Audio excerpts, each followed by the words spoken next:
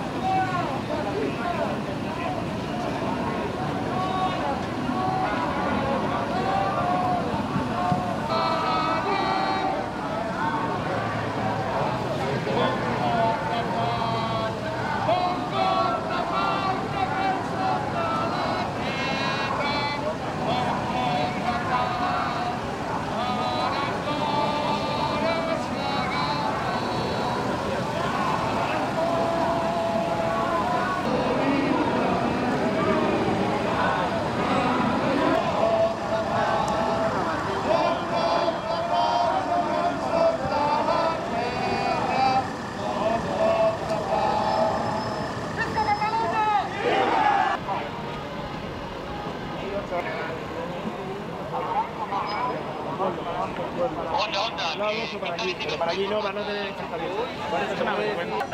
La meridiana no se corta.